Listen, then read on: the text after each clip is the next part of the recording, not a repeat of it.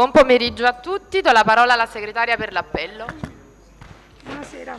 Allora, Sindaco Donnarumma, Rainone Domenico, Franzese Elvira, Isernia Donata, Sorrentino Antonio, Albano Luigi, Peluso Maria Giovanna, Simonetti Giuditta, Nunziata Agnello, Manzi Angela, Pesce Giacomo, Gemito Agnello, D'Antonio Giuseppe, Carenza Roberta, Santella Luigia Teresa, Carbone Vincenzo, Lauri Laura, assente. Quindi 9, 10, 11 presenti, c'è il numero legale, sì. Constatata la presenza del numero legale, dichiaro aperta la seduta. Ai sensi del vigente regolamento comunale designo quali scrutatori i consiglieri Agnello Gemito, Agnello Nunziata e Giuseppe D'Antonio. Passo direi subito al primo e unico punto all'ordine del giorno. Approvazione rendiconto della gestione e dei suoi allegati relativi all'esercizio finanziario 2021 ai sensi dell'articolo 227 decreto legislativo numero 267 del 2000, come modificato dal decreto legislativo numero 118 2011 e successive modifiche e integrazioni. Do una lettura sommaria della proposta. Premesso che ai sensi dell'articolo 227 del decreto legislativo 267 del 2000 come modificato dal decreto legislativo 118-2011 e dal decreto legislativo 126-2014.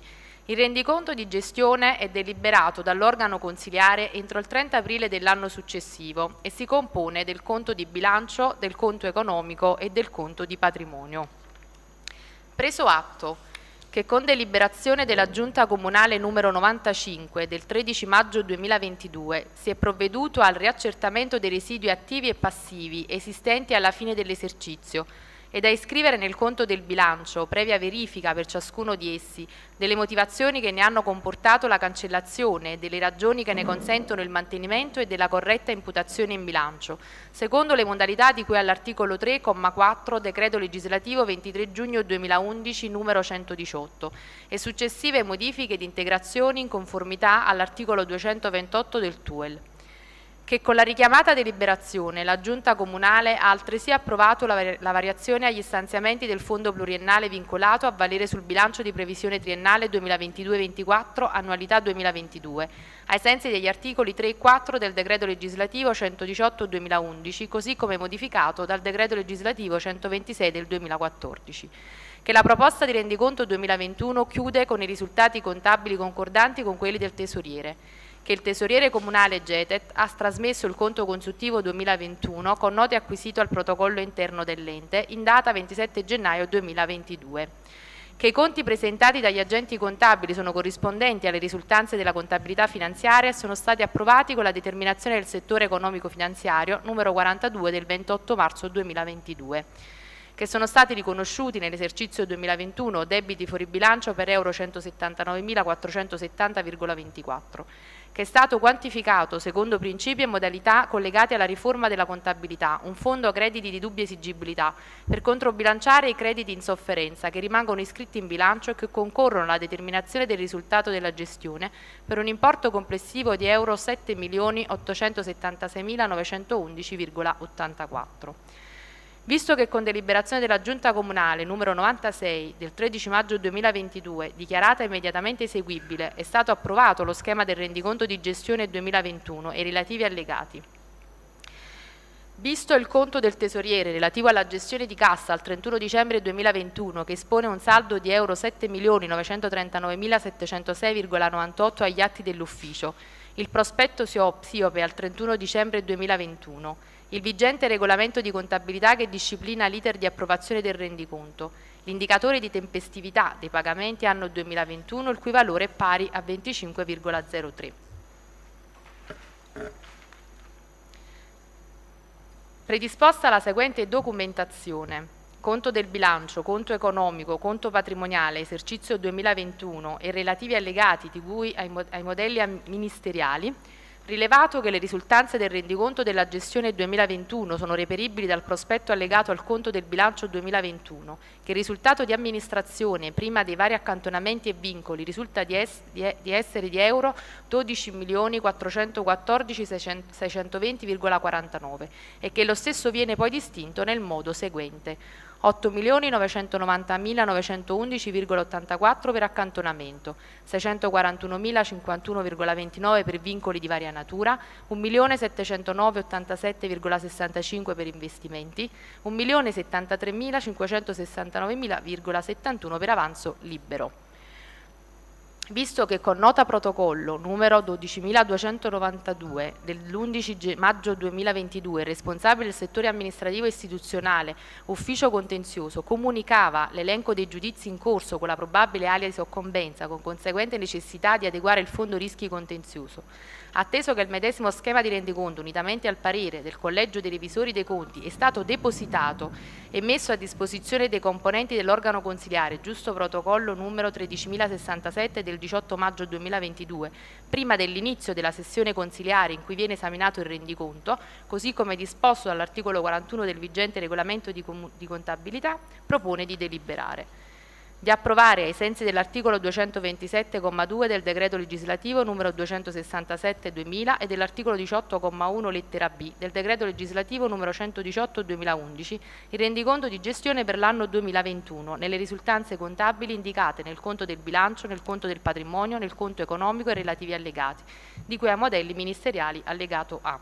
Di approvare l'allegata relazione allegato B al rendiconto della gestione per l'esercizio 2021 di dare atto che con deliberazione di giunta comunale numero 95 del 13 maggio 2022 è stato approvato il riaccertamento ordinario dei residui di cui all'allegato elenco dei residui attivi e passivi distinti per anno di provenienza allegato C di approvare la conseguente variazione agli stanziamenti del fondo pluriennale vincolato a valere sul bilancio di previsione triennale 2022-24 annualità 2022, di dare atto che nell'anno 2021 sono state sostenute da questo ente spese di rappresentanza per euro 1220 allegato D, di dare atto della nota informativa di verifica debiti e crediti con le società partecipate ex articolo 11,6 lettera G decreto legislativo 118-2011 allegato E. Di prendere atto degli allegati prospetti di cui al decreto legislativo 23 giugno 2011 numero 118 allegato F, di prendere atto del prospetto SIOPE allegato G, di prendere atto del parere favorevole espresso dal Collegio dei Revisori dei Conti con verbale numero 23 del 18 maggio 2022 assunto al protocollo generale 13.067 che si allega al presente provvedimento per formarne parte integrante e sostanziale allegato H di prendere atto che l'inventario dei beni patrimoniali comunali è stato aggiornato al 31 dicembre 2021, così come redatto dal responsabile del settore pianificazione e controllo del territorio allegato I.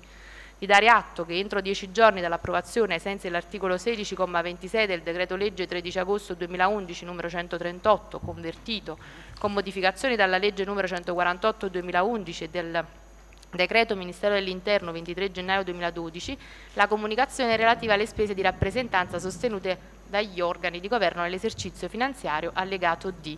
Deve essere trasmesso alla competente sezione regionale di controllo della Corte dei Conti pubblicato sul sito istituzionale dell'ente. Di pubblicare il rendiconto della gestione sul sito internet in forma sintetica, di dichiarare il presente provvedimento immediatamente eseguibile. Io ho dato una lettura eh, sommaria del... Sì, la relazione è abbastanza lunga. Leggiamo, facciamo l'estratto.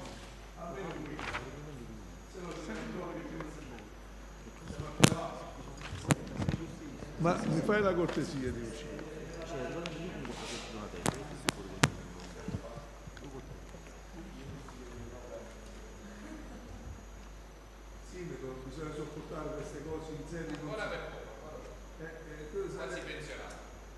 fatto personale parlo, sì.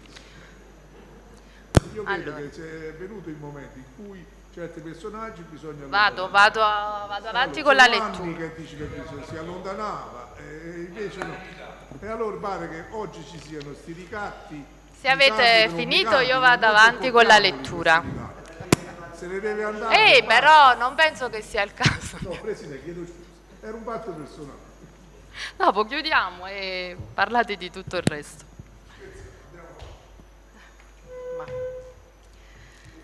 L'organo di revisione ha esaminato la delibera di giunta numero 79 del 29 aprile 2022 relativa allo schema di rendiconto dell'esercizio finanziario per l'anno 2021, unitamente agli allegati di legge e la proposta di liberazione consiliare del rendiconto della gestione 2021.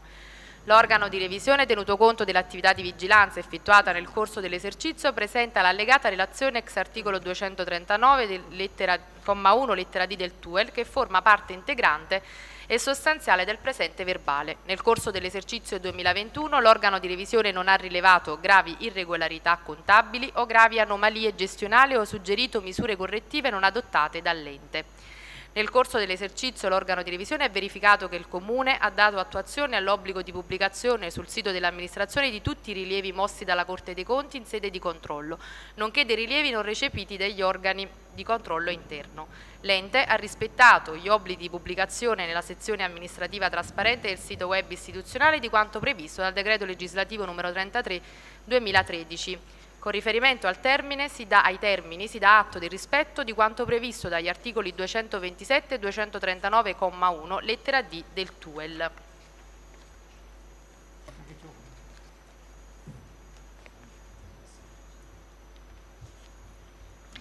Il comune di Palma Campania registra una popolazione, vabbè questo posso la premessa, posso pure saltarla, vado direttamente alle conclusioni. Il Collegio dei Revisori, tenuto conto di tutto quanto sopra esposto, si attesta la corrispondenza del rendiconto alle risultanze della gestione e si esprime giudizio positivo per l'approvazione del rendiconto dell'esercizio finanziario 2021. Questo, diciamo, è... Se non ci sono altri interventi o chiarimenti, la parola al Sindaco.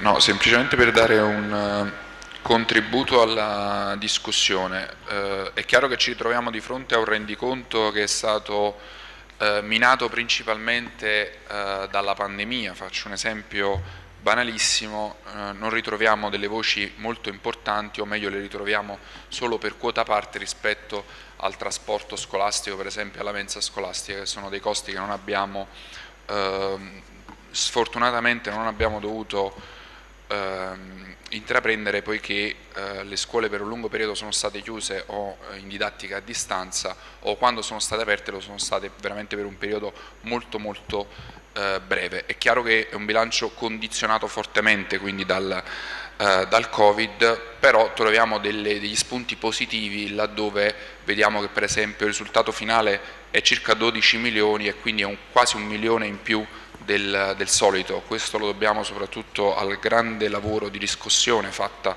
sui tributi sia per quelli eh, straordinari che quelli ordinari.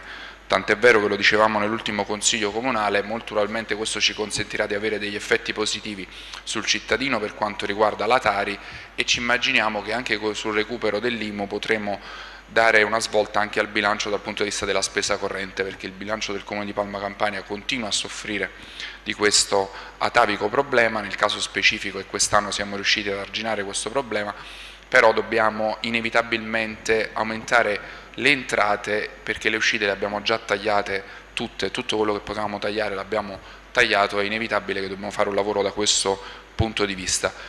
Abbiamo eh, siamo riusciti anche a far aumentare quello che è l'avanzo libero, che ci consente di avere la possibilità anche rispetto alle ultime sentenze, alle ultime eh, nuove eh, normative di poterlo spendere soprattutto per quelli che sono gli interventi infrastrutturali. Ecco perché immagino, ma questo abbiamo fatto già un ragionamento con l'ufficio tecnico, che eh, gli aumenti che abbiamo visto negli ultimi mesi, sia per quanto riguarda le materie prime che per quanto riguarda proprio il mondo eh, dell'edilizia, del costo del lavoro e l'inflazione, eh, laddove avremo bisogno di fare degli interventi lo potremo fare grazie a questa quota di avanzo libero che ci siamo, ci siamo tenuti. E poi voglio fare i complimenti anche all'ufficio tecnico perché nell'ultimo, in questo bilancio d'esercizio abbiamo circa 700 mila euro che sono entrati da oneri di urbanizzazione, che vuol dire che l'ufficio ha lavorato tantissimo da questo punto di vista, credo che tutti gli uffici abbiano fatto un grandissimo lavoro, soprattutto in termini rispetto a quello che è la mole e la eh, possibilità, ma soprattutto le risorse umane a disposizione, credo veramente sia fatto un grande lavoro, quindi vanno i miei complimenti a loro, ma anche i complimenti a tutta l'amministrazione perché credo che chiudiamo un rendiconto e lasciamo un comune che veramente finalmente possiamo dire che è sano, l'opera non è compiuta eh, in maniera completa ma siamo assolutamente sulla buona strada e siamo a più dell'80% dell'opera. Grazie.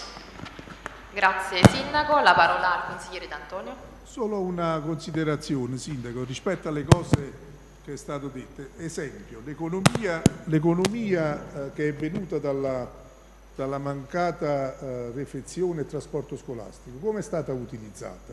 Sta nel, in quello che nella totalità rappresenta diciamo, l'economia gestionale o durante la gestione è stata spalmata su qualche capitolo e su quale?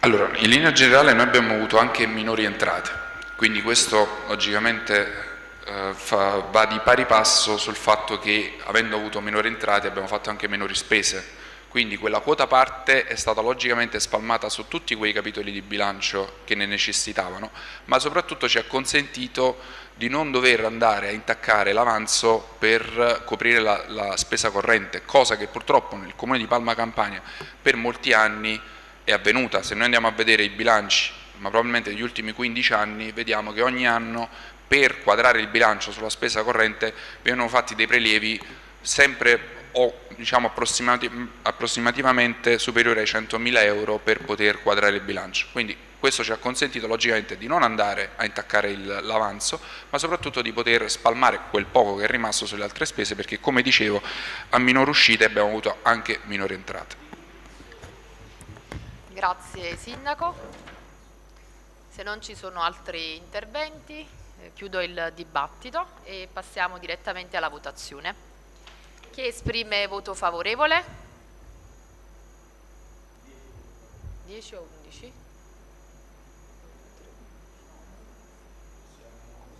10? 10. Chi esprime voto contrario? Chi si, chi si astiene? Chi si astiene? Si astiene? Votiamo per l'immediata eseguibilità. Chi esprime voto favorevole? 10 voti favorevoli. Chi esprime voto contrario? Chi si astiene? Quindi quanti voti favorevoli? Con 10 voti favorevoli e un astenuto, il Consiglio approva la proposta. Era l'unico punto all'ordine del giorno, quindi dichiaro chiusa la seduta. Buon pomeriggio a tutti. Un attimo solo, scusateci un attimo. 2, 3, 4, 5, 6, 7, 8, 9, 10.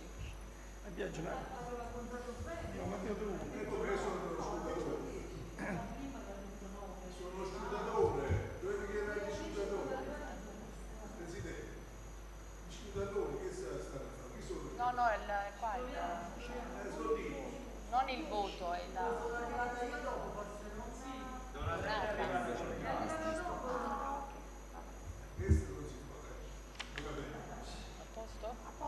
Va bene così, scusateci, quindi dichiaro chiusa la seduta. Buon pomeriggio a tutti.